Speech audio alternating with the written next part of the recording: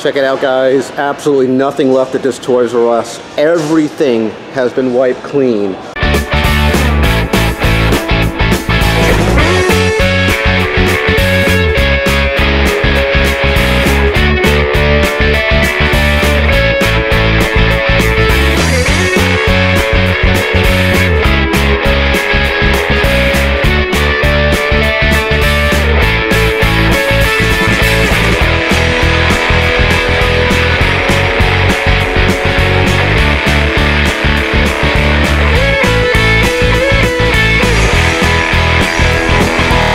Guys, your boy Rook here, and I'm at Toys R Us right now in the last four days at my location, my Toys R Us. I'm going to swing around here so you can take a look what I'm talking about here.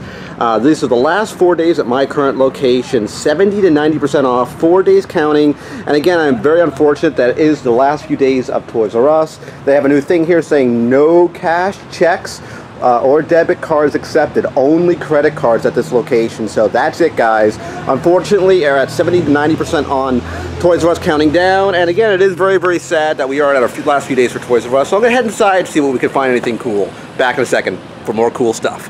Check it out, guys. Absolutely nothing left at this Toys R Us. Everything has been wiped clean rows and rows of empty shelves. Again, this is the last four days left. I just wanted to showcase a little bit what was left of my Toys R Us before they closed down. Again, it is very unfortunate. I probably won't be able to find anything here. Literally everything has been wiped clean. But I want you to kind of get some type of scale and perspective of what's left here.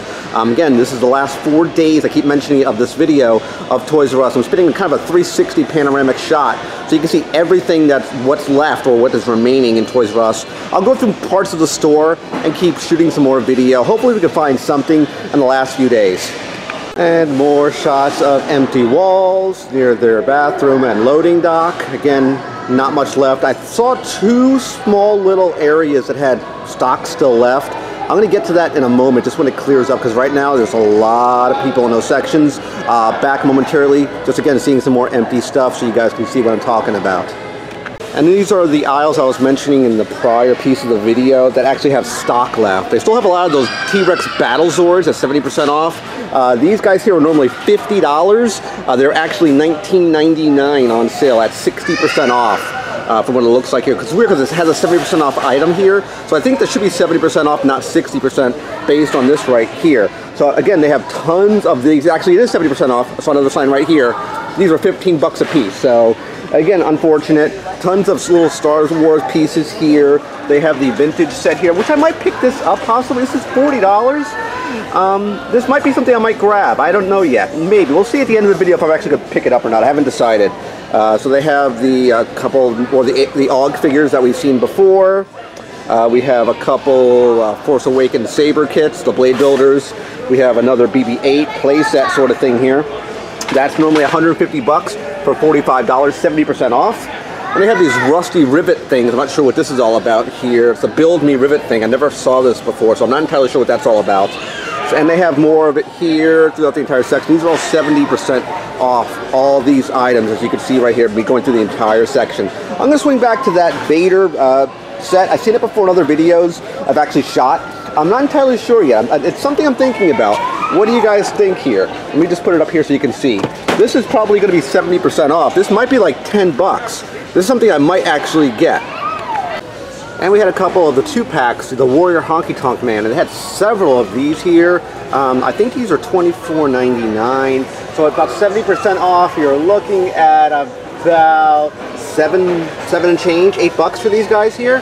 Uh, not too bad. They also have these Zak Storm things, which I'd never seen before. So back shortly with more stuff. Uh, one of the few items they had left here are these Power Ranger Zords for the Ninja, I think it's Ninja Storm, or excuse me, Ninja Steel. Uh, these were normally 100 bucks.